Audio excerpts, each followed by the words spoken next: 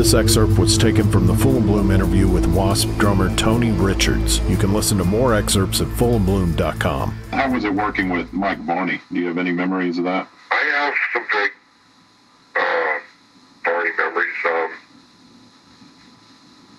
uh, Mike Varney. Was he the one we call Moneybags? Mike Varney? The producer?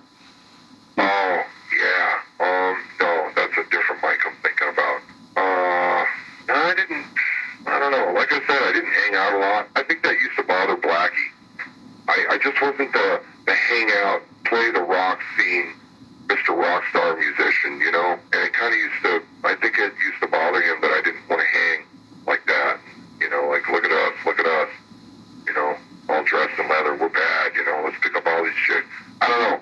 I just, uh, I was more reserved. You know, I just, I'd hang out for a little bit, have a drink, you know, flirt a little bit, do whatever, but boom, you know, and then I was off somewhere else, you know, someone else's house, private, you know, and, uh, I don't know, I think that might have rubbed him the wrong way, you know, I think he, he wanted it more to where we were sort of like the crew, you know, hung out, went to strip clubs together, lived in, you know, lived and died together, so to speak, you know, so, I don't know.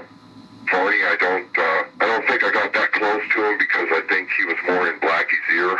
I don't know. Yeah, I was kind of tripped out that uh, he ended up producing the record, especially since you guys were signed to Capitol. Yeah, I know. It was, you know, and I didn't have any say. And I, and I do, I'll tell you one thing, dude. I remember hearing the mixed tracks and stuff. I, okay, first, I remember hearing what we were, what we had laid down and stuff, and the drums were just thunderous. They sounded great. And now I know this is just coming from a drummer talking about the drums, but it was more than just that. The, the tracks that we laid down, the guitars, Randy's guitars and everything, they were out there and they were crisp. Everything was clean. And then I remember, you know, this big wash of disappointment when I heard the, okay, here it is, this is it, boys. They played this uh, mixed track and shit, and the drums had been tweaked with to where they just sounded like shit, and Randy's guitar was buried, and everything had changed, you know. And I remember that's probably part of the reason why I, I uh, you know, distanced myself from Varney because I had no say, and therefore I didn't hang around, so I didn't have a right to say anything. You know, it was a big circle.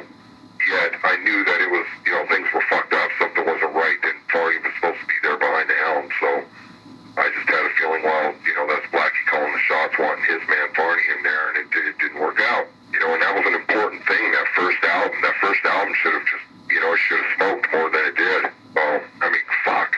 Capitol Records, Iron Maiden's management, we had unlimited money. We had unlimited resources. And what's odd is Varney had never, up to that point, he's unproven. You know what I mean? Yeah. He had done like the Steeler record, or maybe he hadn't even done that by that point. I don't even know. But, uh, Yeah, well, you know, he was unproven as a producer. And yeah, I thought the, the production is just uh, not as good as what a lot of the other bands got. yeah.